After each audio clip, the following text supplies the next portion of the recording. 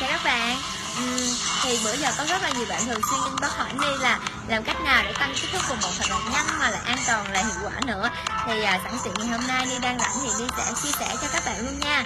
Đó chính là mỗi tối trước khi đi ngủ thì à, Ni thường à, pha cho mình một loại bột à, thiên nhiên tăng kích thước vùng một đây.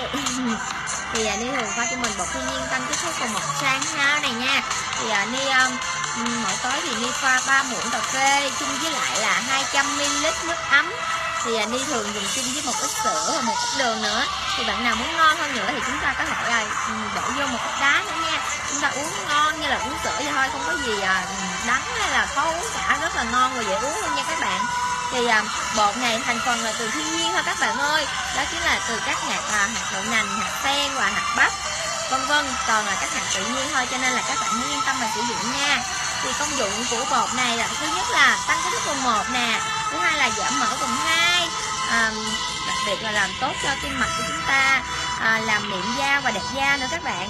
Ừ, những bạn nào mà đang có nhu cầu tăng kích thước vùng một thì các bạn hãy nhanh nhanh mua cái bột này về sử dụng nha.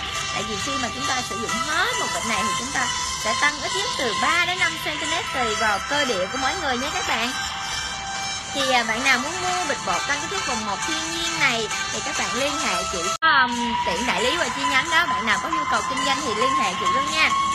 À, đặc biệt một điều là khi mà chúng mua chúng ta mua một bịch bột này thì chúng ta sẽ được tặng thêm một thỏi son này. Để đi cho các bạn xem màu nha. Đây rất là dễ thương luôn nè. Lên màu thì rất là chuẩn luôn. Thì à, Ni à, hy vọng rằng à, tất cả chị em phụ nữ chúng ta sẽ có vòng một thật là đẹp với bột thiên nhiên tăng kích thước vào một trang hao